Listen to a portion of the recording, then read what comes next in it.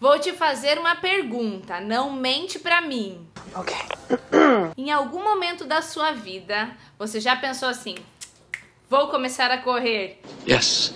E aí você foi correr e teve a sensação de morte? Oh my god. Conta pra mim.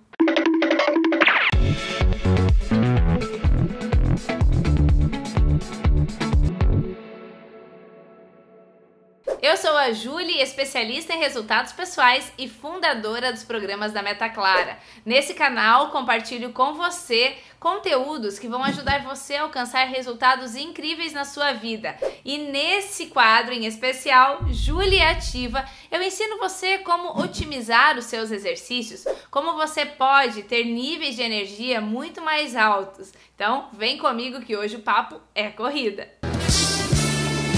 Já vou aproveitar e te contar um segredo. A corrida na minha vida é um dos exercícios que mais me ajuda a manter o meu estado emocional em alta. Quando eu preciso produzir muito no meu dia, eu começo o dia com uma corrida. Agora entendo, se você está me assistindo, você deve estar pensando, mas como começar a correr?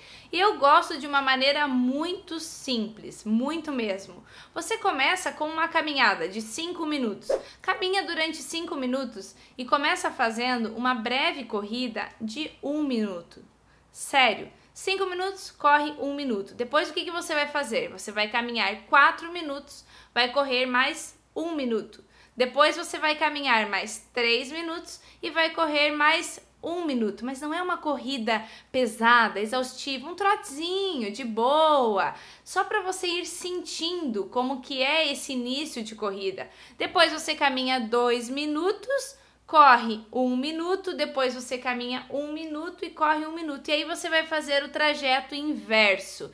Isso numa vez só. Aí você vai fazer o que? Caminha um minuto, corre um minuto, caminha dois minutos, corre um minuto, caminha 3 minutos, corre mais um, caminha mais 4, corre mais um, até você finalizar com aquela caminhada de 5 minutos. Entende? A gente vai fazer uma pirâmide. Então a gente vai começa com uma caminhada mais longa e vai correndo, sempre intercalando um minuto e vai diminuindo o tempo da caminhada. Depois é o inverso, a gente vai aumentando o tempo da caminhada e sempre mantendo um minuto de corrida. Então faça primeiro essa experiência, me conte como foi. Se um minuto para você ainda é muito tempo, coloque um tempo de 30 segundos e depois você me conta como está a sua evolução e aí sim a gente vai fazer uma outra planilha de corrida. Combinado? Gostou desse vídeo prático? Não? Dá para começar hoje mesmo. Veste os tênis e sai correndo.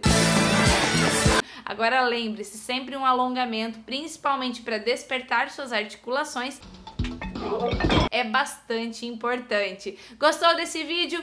Curte ele, deixa um recadinho aqui embaixo para mim se você já corre, se você não corre, se você deseja correr, me escreve aqui embaixo que eu vou ficar feliz da vida em ler seu comentário. Uma coisa importante, ativa as notificações aqui do canal, porque sempre que entra conteúdo novo você vai ser avisado. E se você não se inscreveu ainda, por favor, se inscreve nesse canal e já chama a turma toda para vir com a gente. Combinado? Beijo grande, nos vemos no próximo vídeo.